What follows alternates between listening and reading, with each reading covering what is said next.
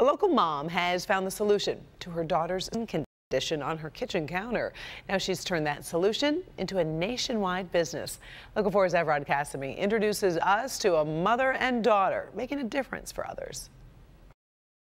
Words can't describe. Yeah. It was an emotional moment and happy tears from Jasmine Matheny when asked what her four-year-old daughter means to her. Little Brooklyn is all cured now from her eczema, but it wasn't an easy fight. She had a bad flare-up.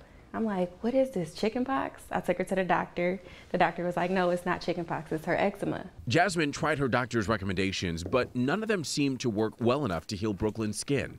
Somebody suggested that I use shea butter. I didn't really like the texture, the form of shea butter, the smell of it. Um, shea butter is like very stiff and solid. It causes, restores the moistures of the skin. Dr. Amoyne, a local dermatologist, has seen shea butter work for his patients with eczema. In Brooklyn's case, her mother just wasn't satisfied with the results.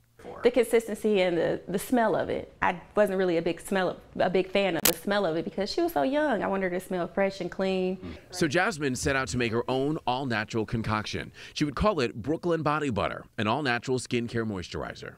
And this is Jasmine's kitchen where Brooklyn's body butter is made. It starts with this pure shea butter. She adds in these oils and mixes it in this KitchenAid mixer and is able to turn out 300 of these jars a week. I made it into a whipped consistency. The ingredients are simple. Shea butter, coconut oil, jojoba oil, apricot oil, grapeseed oil, and fragrance oil.